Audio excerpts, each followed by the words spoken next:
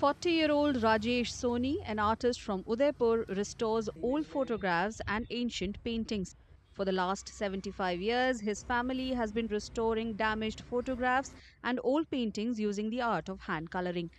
हम लोग खुद फ़ोटो शूट करते थे और फिर उस फ़ोटो को हम प्रिंट करके फिर उसी में हाथ से कलर करते थे ये तो हो गई टेक्निक वाली बात फिर दादाजी जो करते थे उसमें क्या है कि उनके पास कभी कभी जैसे कि पुराने फ़ोटोग्राफ आते थे पापा के पास पुराने फ़ोटोग्राफ आते थे रिपेयरिंग के लिए।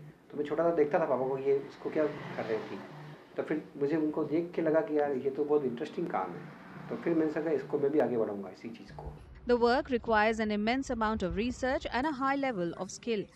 आ, कोई भी फोटोग्राफ आता है रिपेयरिंग होने के लिए या कोई भी पेंटिंग आती है तो वो डैमेज होती है बहुत बुरी तरह से। मतलब आप मान लो कि 70 परसेंट या 80 परसेंट डैमेज होती है। तो जो पार्ट उसमें मिसिंग होता है उस पार्ट को इमेजिन करना होता है।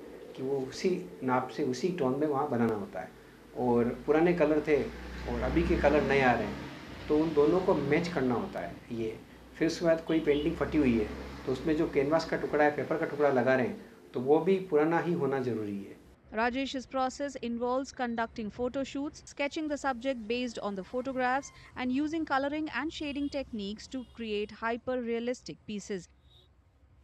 He says that he wants to use the techniques to create unique pieces that depict modern times. आगे इस कला को बढ़ाने में जो मेरा जो आइडिया और कॉन्सेप्ट वो चल रहा है कि मैंने पुरानी टेक्निक सीखी है कि कैसे मिनीचर पेंटिंग बनाई जाती है, कैसे फ़ोटो में कलर किया जाता है, कैसे सोने के वर्क को काट के फ़ोटो पे लगाया जाता है। तो ये सारी टेक्निक सीखी है मैंने। उस ज़माने में जो आर्टिस्ट थे वो उस ज़माने की बातें बताते थे कि हाथी घोड़े पे राजा बैठे तो हाथी घोड़े पे राजा की पेंटिंग बनाते थे।